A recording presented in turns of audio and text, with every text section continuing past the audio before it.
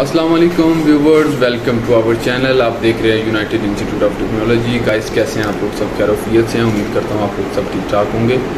आज हम बात करेंगे अकाउंटिंग एंड फाइनेंस का एक कोर्स है, जो बहुत ही इंपॉर्टेंट है। बहुत सारे लोग इसके बारे में पूछते हैं। सैप ईआरपी कोर्स के बारे में या सैप बिज़नेस वन कोर्स के बारे में। तो गाइज़ अगर आप लोग सैप में इंटरेस्टेड हैं, आप इस, ये कोर्स करना चाहते हैं तो आप, आपके लिए वीडियो बहुत इन्फॉर्मेटिव है, आप इसको एंड तक देखें। और अगर आप नए हैं मेरे चैनल पे तो आप इसको सब्सक्राइब कर दें। लाइक और शेयर लास्ट में कीजिएगा अगर आपको ये वीडियो पसंद आए तो। सेकेंडली ये है जी सैप जो है, इसके लिए एडमिशन क्राइटेरिया जो है, आपके पास अगर इंटर भी क्वालिफिकेशन है तो आप सैप कोर्स कर सकते हैं, ठीक है?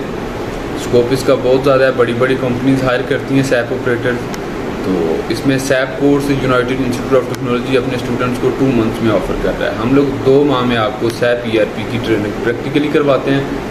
आपका इसमें काफ़ी सारे मॉड्यूल्स हैं जो हम लोग कवर कराते हैं। कुछ एक मॉड्यूल्स मैं आपके साथ डिस्कस शेयर कर दूँगा।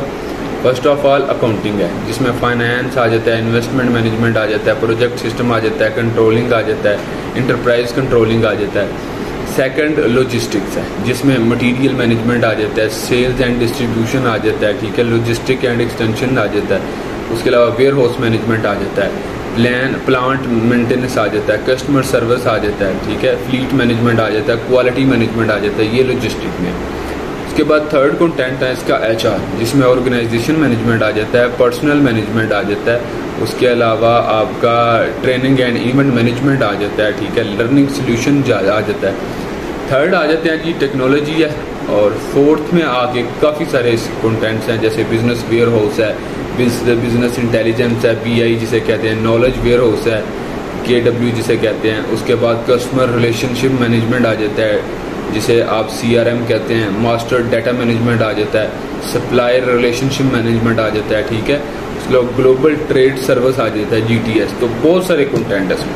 तकरीबन हम 50 प्लस जो है 15 प्लस कंटेंट इसमें कवर कराते हैं। तो अगर आप सैप ईआरपी या सैप बिज़नेस वन में इंटरेस्टेड हैं, आप ये कोर्स प्रैक्टिकली करना चाहते हैं, हम आपको आपकी डिवाइस में जो है, वो सॉफ्टवेयर इंस्टॉल भी करके देते हैं और आपकी डिवाइस आपके लैपटॉप पे आपको मुकम्मल प्रैक्टिकल ट्रेनिंग दी जाती है, दो से तीन माह। आपकी जब ट्रेनिंग कंप्लीट हो जाती है, उसके बाद आपको गवर्नमेंट से मंजूर शुदा सर्टिफिकेट भी देते हैं। तो अगर आप सैप ईआरपी या सैप बिज़नेस वन कोर्स के बारे में इंटरेस्टेड हैं तो आप हमें ज्वाइन कर सकते हैं। हमारा दारा रावलपिंडी शमसाबाद में है। आप ऑनलाइन भी इसकी ट्रेनिंग ले सकते हैं। तो आज के लिए इतना इंशाल्लाह नेक्स्ट वीडियो में नई अकाउंटिंग कोर्सेज के बारे में आपको बताऊँगा।